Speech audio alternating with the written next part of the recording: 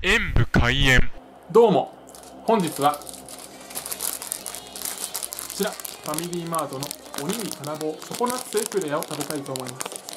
節分向けにスイーツですね。鬼が入る。やつなんで鬼が恵方巻きの方法を教えてくれてるんだっていう気がしますが。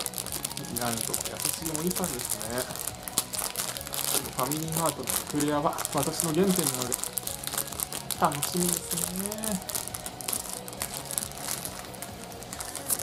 おお金棒らしさを出すためにあえて下の方はやってないんですね。ではこの部分をちょっと。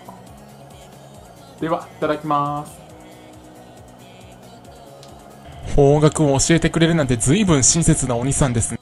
濃厚かつ甘さ控えめなクリームとザクザク食感のナッツの相性はバッチリでエクリアの生地も程よい食感を出していて美味しかったのですがちょっとナッツがボロボロ落ちやすいのが残念でしたこの落ちやすさを克服できればまさに鬼に金棒。向かうところ敵なしのエクレアになると思います。ご視聴ありがとうございました。コメントしていただけると嬉しいです。